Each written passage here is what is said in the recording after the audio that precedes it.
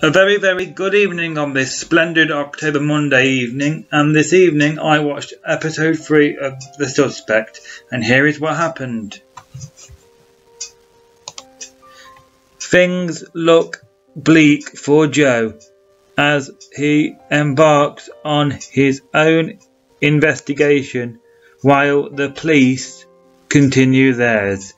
Joe unearths details which lead him incredibly closer to home.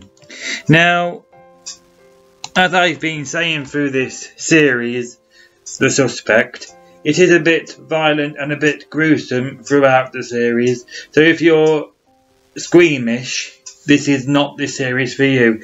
But if you're not, then please give it a watch on ITV Hub right now. Thank you for watching this review and I'll see you again for the final review next week. Bye for now.